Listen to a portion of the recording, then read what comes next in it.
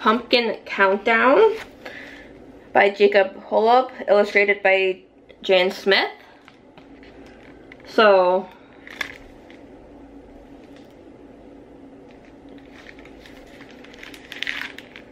um, got pumpkin facts um, at like the front and back here. Though they're the same pumpkin facts. um, so you're getting the same facts on there. So, field trip to the pumpkin patch and so the numbers are bolded in an orange color. So working,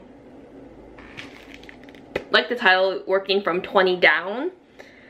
So um, this is helpful of going counting backwards and can be helpful if your kid knows up to 10 and backwards and you're working on um, 11 to 20.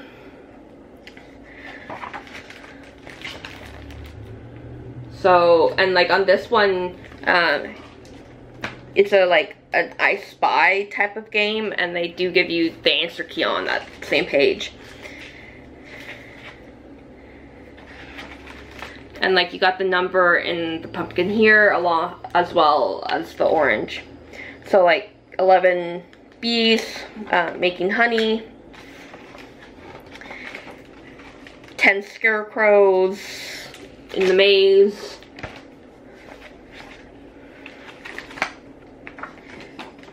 um, you'll have one to three numbers on a on covering the two pages. So like the different types of pumpkins that you'll see in the patch.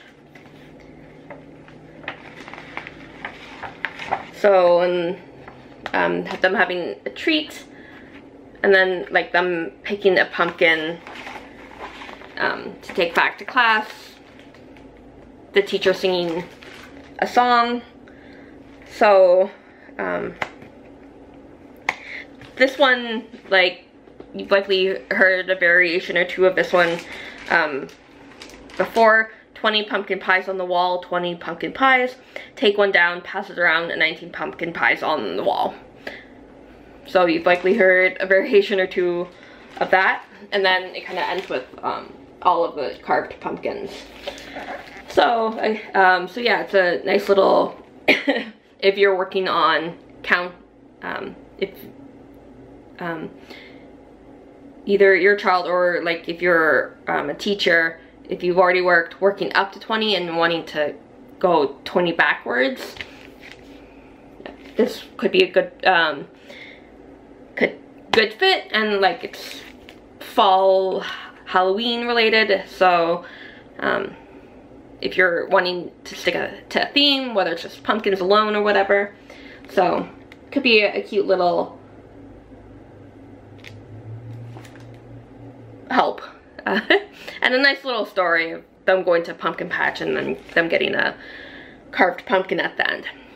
So yeah, pumpkin countdown. Happy readings.